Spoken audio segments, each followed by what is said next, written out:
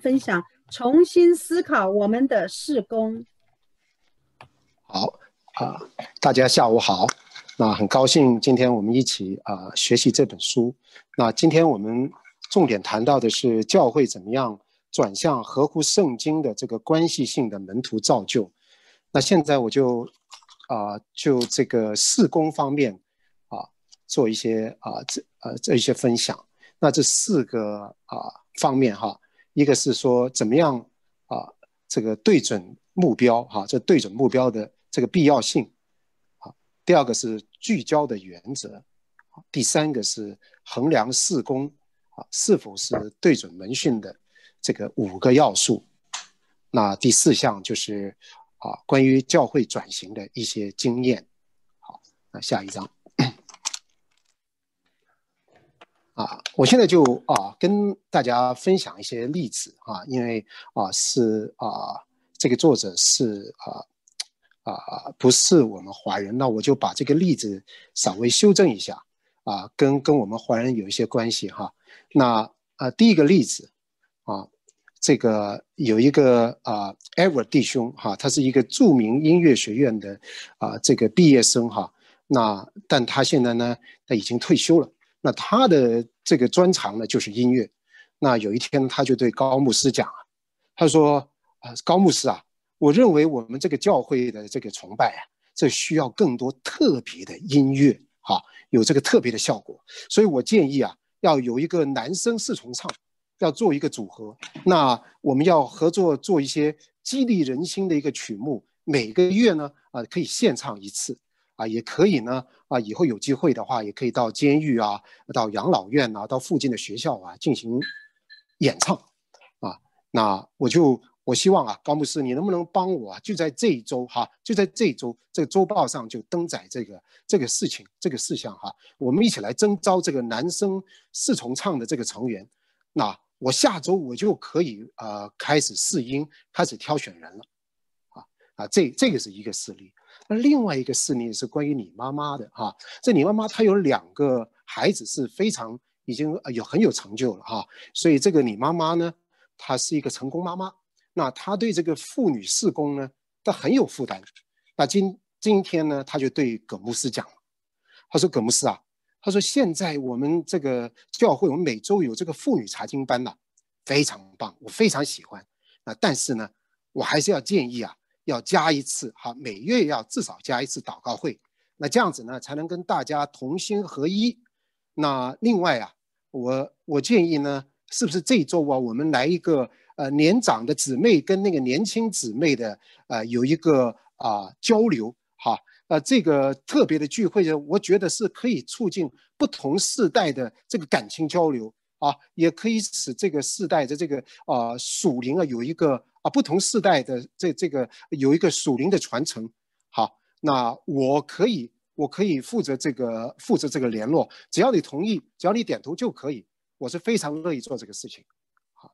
那第三个事例呢？啊，这教会有一位年轻的这个赵弟兄，哈，啊，现在还在学，是一个大学生，啊，他很有这个体育天赋，啊，非常喜欢打篮球，那他就想啊，他就是组一个篮球队，所以那一天呢，他就见到詹姆斯，他就跟詹姆斯讲，他说詹姆斯啊，我非常希望在我们教会组织一个篮球队，因为为什么呢？因为我们组织篮球队，我们可以振奋我们年轻人啊，特别是大学生年轻人的士气，哈，呃，也可以使我们有归属感，哈。同时呢，我们也可以啊，跟其他教会的啊啊这些球队，我们可以进行联赛，可以交易，也可以呃建立这个跨教会的连接，啊，我可以做这个牵头人，啊，只要你张牧师认可的话，我就可以去做，呀，这个是。就是举三个例子哈，那我想这些例子呢，可能对我们来说是似曾相呃相识。那，嗯，这些就是很明显的这个呃事工啊不聚焦的一些个表现哈。那总结起来，好，事工不聚焦，有一些事工呢是自己有自己的目标，但是呢。他没有对准一个教会的首要目标，啊，那另外有一些事工呢，是本身自己没有比较清晰的、比较整体的目标。那甚至第三种有一种呢，就是一种习惯性的，啊，为了传统、为了做而做、为了习惯而做的这样子的事工。好，啊，下一页。那这个不聚焦的后果啊，这这教会的事工啊，就是一个大杂烩啊，多头马车。那大家彼此之间呢，互相不搭配。你做你的，我做我的，各自为政。那教会我们知道，那个人力资源都是有限的。那可能是因为这种没有缺乏统筹、各自为政的这种观念呢，啊，使整个教会呢都这个人力物力都耗在一些非目标的施工上面。好，我们也就是要我们要针对门训呢，就没办法啊导向这个门训哈。那有时候这个施工啊很多四面开花，但是呢那个结果。效果不佳，有广度没有深度，有时候疲于奔命啊，但是啊无以为继，没有一个啊啊全程的一个效果。好，下一章。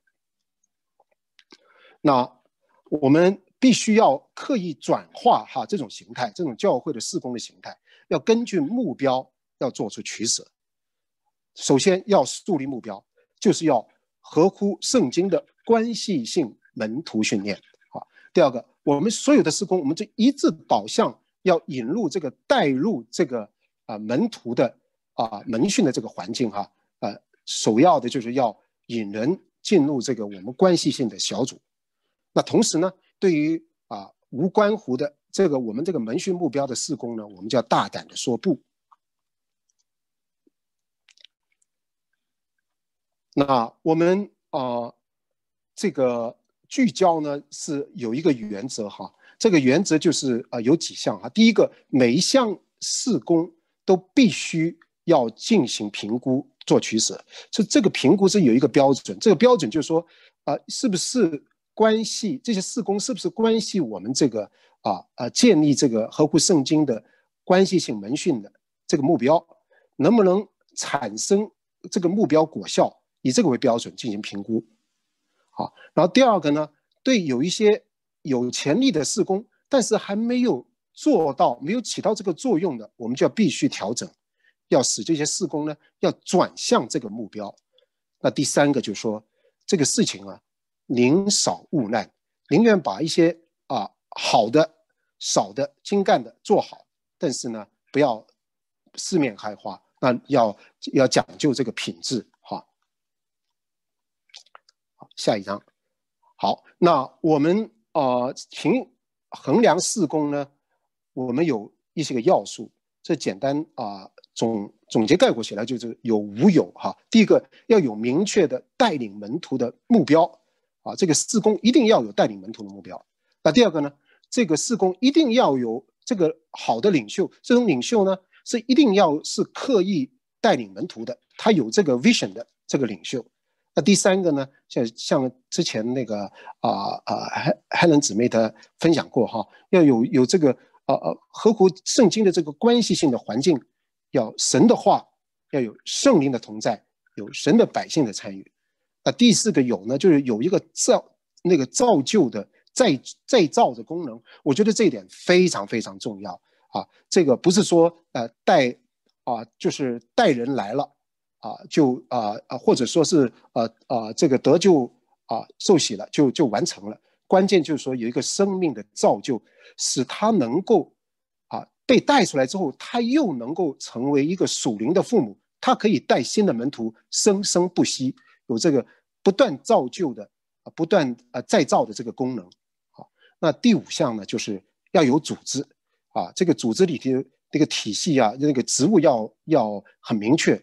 而且要有一个啊监督的这个机制在当中。好，那最后一项啊，就是分享哈这个教会转型当中的一些个经验。那第一个，在已经成型了的教会哈，那要进行这种啊目标转型的时候呢，啊必须要注意要循序渐进，要不要不要一次性的这样子的啊大的改变啊，要可以部分先行啊。然后逐步推进，啊，这样子的话才能够减少阻力，然后就是逐步到位，然后就啊把整个局面能够翻转过来。那第二个很重要，是从人开始哈，首先从领袖啊最重要的这个领袖人物开始，要跟他们传递这个意向，并且跟他们组成一个合一的团队。